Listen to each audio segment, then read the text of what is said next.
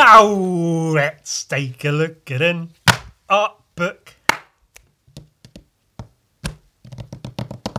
Oh, this is Glenn Fabry, sketchbook one. It's like a book of sketches of Glenn Fabry. Glenn Glenda Fabrington. Glendosio Fabrino. Glean Glean the Fabry machine. Um, I think I've shown this briefly. I would have shown it in the video I made about Glenn Fabry. Glenn Fabry is my go-to favourite artist, um, responsible for sort of how I paint and approach certain things. And I have this book of his. It's a nice little little book. He sells them at his cons and stuff. Uh, well, at cons when not his his his conventions specifically, conventions that he's at. Um, but I thought we'd just have a little look through it because it's it's good and it's more recent work of his. It's you know a lot of the stuff I show is from the '90s, like early to mid '90s, where this is sort of mid 2000s to early 2010 sort of years 2013 2007 those kinds you get it. Um, so there's some just stuff like this which is cool. I don't know exactly what it is what it's for but it's fucking good um, there's some colour stuff but largely black and white because it is mostly sketches um, jesse custer from preacher i'm sure you're all very aware of the guy reading a spider-man on a train comic i like that um, stuff like this is why I love artists like Glenn Fabry. Um, a lot of comic book artists do it. They have a good sense of humour and they put silly little things like this in their drawings. Um, some of them don't, but some of them do. More Jesse. And I like that this book does have, like, that's obviously quite a rough kind of sketch. Um, still good, obviously, but then there's also more, more well rendered pieces in there, also like this. That's quite a good one. I think a lot of these are like probably commissions maybe done at conventions. So like quick sort of half hour to an hour sketches done for like I don't know 10 15 pound or whatever just probably this is roughly actual size as well. More Jesse. Oh, happy birthday. No. 2012. It's, cool to see how his style of more recent years has gotten really, really like a lot cleaner and more refined. It's still obviously Glenn Fabry's work if you know Glenn Fabry's work, but it's a lot, lot cleaner, uh, a lot more curvy as well. There's all these curvy lines where he didn't used to do those a lot. Um, that's cool, like a zombie a gold panning old west zombie. Saint of Killers, one of the coolest comic book characters, is really fine good. A chick. Hi Dave. Ooh, lucky Dave. um, I, I'm aware. That's cool. Can, is it Ch- Cheetara or whatever from Thundercats? Nips. Uh, a copy of, whereas it says after Jay Hewlett's Get Knotted Tank Girl cover 1990. So that was originally drawn by Jamie Hewlett in that stance exactly. But that's a Glenn Fabry version, which is quite cool. I like that.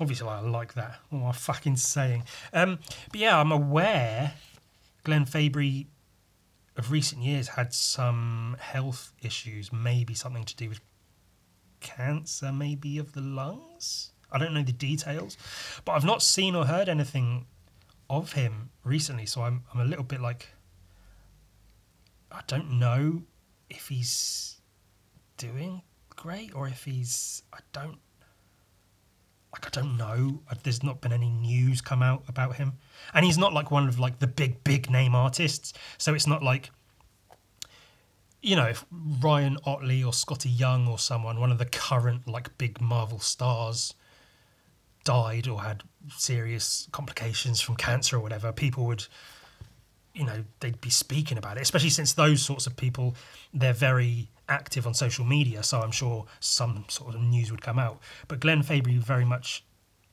was not, and his Instagram that he did have, I think, is basically gone if not deleted, then basically erased. Everything's gone from it. Last I checked, um, I think. So I'm a little bit like worried in that respect. Um, that's cool. A couple people looking at his drawings, and they're all like dicks and fannies and Mickey Mouse blowing a penis. Judge Dredd, we love some Dredd. I've got a similar drawing to that by the man Glenn Fabry. It's very cool. Um, ooh, that's cool. Judge Dredd and Judge Death. A little bit eh, with the, the badge getting lost under the shoulder pad. Don't know quite what happened there, but Judge Dredd's got such an awkward fucking costume to draw, so uh, this shit bugs the hell out of me anyway. Batman and Dredd. Um, and this is one thing I love Glenn Fabry's work. I will never ever say anything bad about it, but I think this is where it's at a loss for certain superhero comics. Stuff like Preacher works perfectly because it's just people doing shit. When it comes to like Batman and stuff, you see, you know, Frank Miller, Jim Lee, those people do Batman, and he's like massive, muscly, bulky, and then Glenn Fabry's Batman looks a lot more sort of like Adam West average, everyday guy, blue collar, workaday Batman, which isn't bad because it's still good, but it's just in comparison to, you know, the wild, crazy, dynamic, you know, even Bisley Batman. It looks really, really toned down comparison. That's a really cool, like, little process before and after. I, I assume that was a commission of a portrait of somebody, which is a really cool one the lizard. The background's really nice as well. Um, yeah, I, I, if anyone knows anything of how Glenn Fabry's doing currently, please do let me know. Um, I haven't researched it a lot, but I'm aware he had some issues, and I've heard nothing from him. So I'm I'm leaning towards, you know, worst case scenario. But uh, It'd be a shame if he had left us. Um, but then maybe all this shit would be worth a lot more money now. Love that. Um, 2011. It was recent at the time because I got this in like 2013, I think. Um, so at the time that was recent, but now that's almost 10 years ago. So not so recent, I guess. Hmm. Do love a Hulk though. I might try to get that blown up, print it off for my own use, of course, not to sell it, just to hang on my wall or something. Or I could just tear the page out and frame it, but I probably won't. That's really, really cool as well. I love that hunchback, all the skin, like all the fucking little blobs and wrinkles and creases and shit. That's what Glenn Fabry's really, really good at. All that shit. Howard the Duck. Uh, little Spider Man, little chibi Spider Man. And uh, not so chibi Spider Man, and Sinister Six. We like that. Again, almost like all the proportions and stuff are too realistic. And then, like, for something like this, it feels like they should be more dynamic and crazy and wild. But it's a little bit too, like, like it's a great painting. If I could paint that, I'd be more than happy. But I don't know. I guess that's good as a painting, but if that was a comic book cover, you'd want it to have a bit more sort of like crazy impact, I guess. No, my two cents for what it isn't worth. That's cool. Again, Superman looking a little bit. He's obviously ridiculously muscly, but he looks quite small, especially in comparison to the armored Batman. A really nice preacher piece, saint in the background. I love how that's painted because you can see all the underpainting, like the orangey brown underneath with just a couple of layers of paint pulling out the skin tones and stuff. And then those are really cool. But they do, I think, if you know, I could show a contrast, but I won't. Um, if you know his style, you know th- these paintings look loads like cleaner and smoother than the ones he did for like the covers of Preacher and stuff. That's really nice A little bit gay. Two people kissing, having a snog. Um, but in terms of painting, that's really fucking nice as a painting. It's cool. The purple sort of glow there under under lighting or whatever. Really cool. And that's cool too. The Saint. I've just been um, I've been replaying Red Dead Redemption, the first one, and I rewatched uh, Deadwood, the series and the movie, which is uh, so old western stuff is currently in my head, and I may do something with that. So seeing the preach of pre, pre, preach preach priest preacher saint the saint of killers the priest of killers stupid the saint of killers is very sort of like oh yeah old west sort of guns and shit we like we like that. Um he did a bunch of covers for a series of comics. It might have been called zombies or something else but it was about zombies. Um so that's really cool to see. I fucking love zombies. I was going to do a video about zombies so i might still get to that. Um so seeing Glenn Fabry do zombies is really really cool. Really really really really really really cool. 2008, quite some time ago. Gosh, that's about when I was at uh, college. Wow, fucking wow. More zombies. That's good, man. That's fucking nice. That's real fucking nice. And that's gnarly. Gah the glow, the rim lighting really, really makes that pop. It's it's quite subtle, but like, and just here, it's really good. And all the creases in the world on the jeans. Cool Tarzan. That's really cool uh, for a brewing company in the States. That'd be really cool if you own a brewing company and then you pay Glenn Fabry to do like a logo thing for you like that. That's really, really fucking nice. I like that a lot. We like chimps anyway. So especially when they're very well painted Fabry chimps. And that's the sketch obviously for the for the thing. A little bit of a loss to have them on either side of the same page because it would be cool to have like the sketch and the painting or vice versa.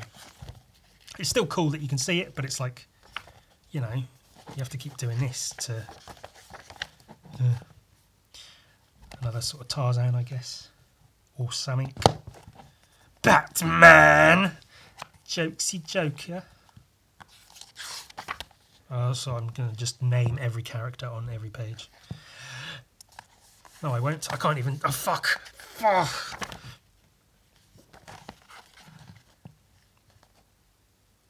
So yeah, I assume all of these are like, if not at conventions, then just, hey, I'll give you some money, draw me this character because I like this character or whatever.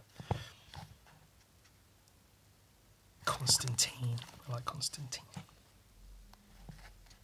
That's cool. I like all the like demons around here and shit. That's really nice more Constantine. And this is another one of the little like funny details I like. Smokey the Vagabond silk cut optional. Just a funny little cigarette boy. Very cool Lobo.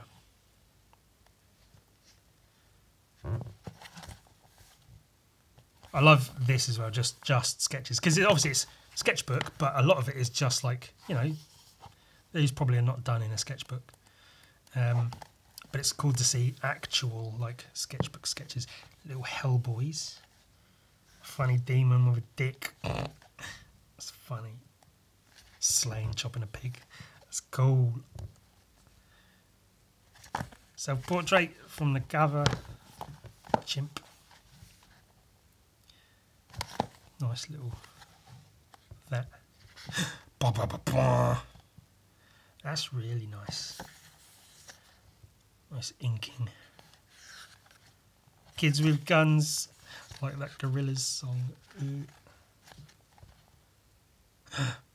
Some chick. Some demon chick. The lighting's great, man.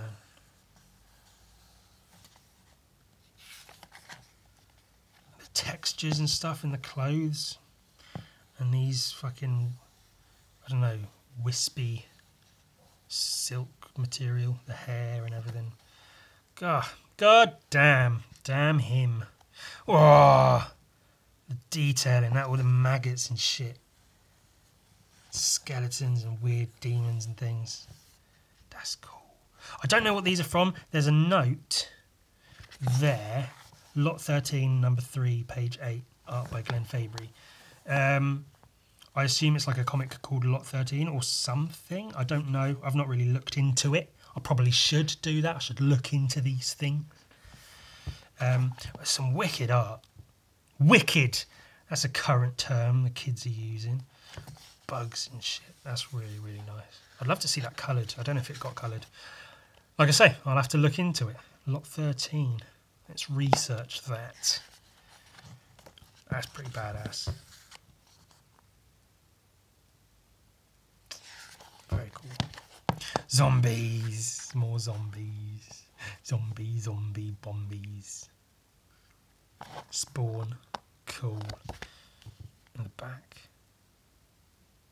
Yeah, man. Glenn Fabry. Hope he's okay. Um,